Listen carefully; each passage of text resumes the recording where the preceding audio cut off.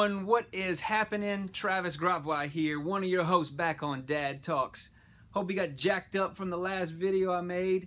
Um, I hope you really enjoyed it. We want to bring some energy to you in these videos, and I uh, hope you really like Hassan's videos as well. If you haven't checked them out lately, check out check out the two. Um, one is called Nine Things That You Wish You Knew Now or Back Then That You Know Now, and the other is all about getting uncomfortable. That's a great one but just don't take any dance tips from him on that one.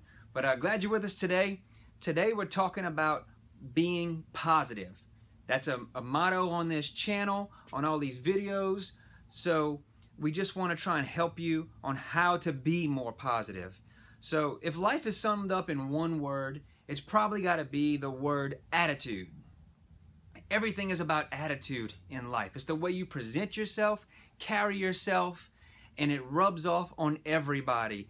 The energy that you bring and you present every day is infectious among other people. So I'm to come to you and give you a couple of tips on how to be more positive in your life. Look, I know everyone battles with things in their life, problems, challenges. Uh, you know, a lot of people, they really do suffer from depression and anxiety.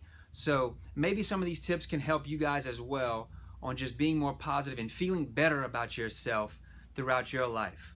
Number one, the first thing we're going to talk about is practice being thankful.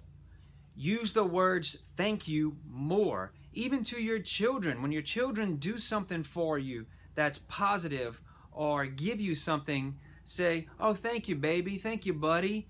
Um, I really appreciate you doing that for me. When people just pass and, and do things for you throughout the day, just use the word thank you. It's going to make them feel better, and that energy will then rub back on you to make you feel more positive and look more positive.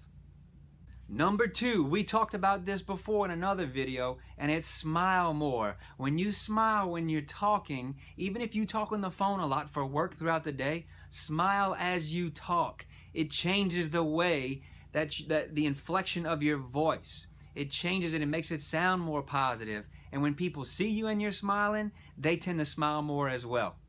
Number three, this is one you may not think about, but uh, this really does work, and it's work on your posture.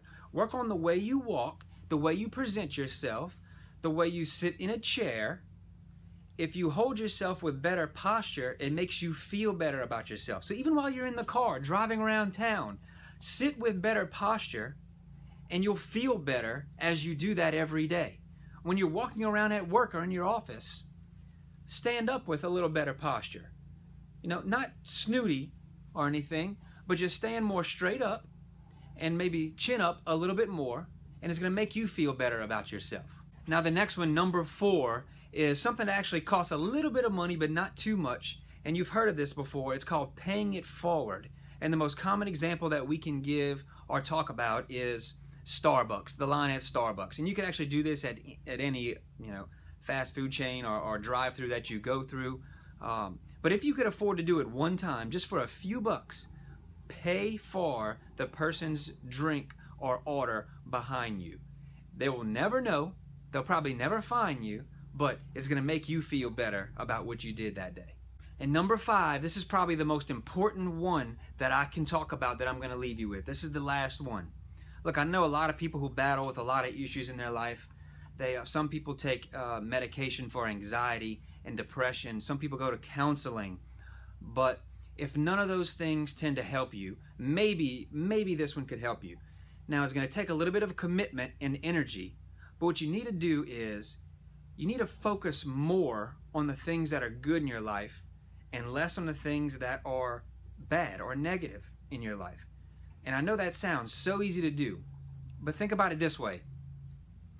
You know, most things in your life are probably good. Let's say 90% of it. Or even if it's only 10%, it really doesn't matter. What you need to do is focus so much energy on the positive things in your life that you will end up forgetting about the bad. So if your kids bring you joy and laughter and they help you forget about your problems, devote three or four times as much uh, time throughout the week or evenings, whatever it may be, to spend time with them.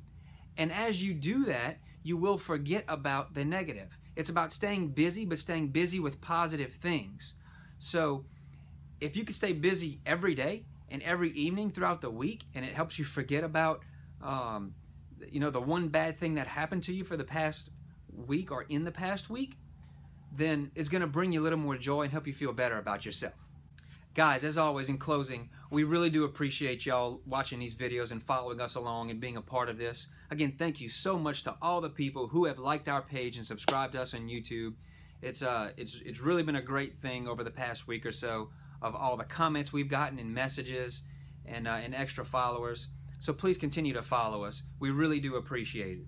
As always, in closing on Dad Talks, it's always about passion and positivity and purpose. We'll come back at you soon. Thanks.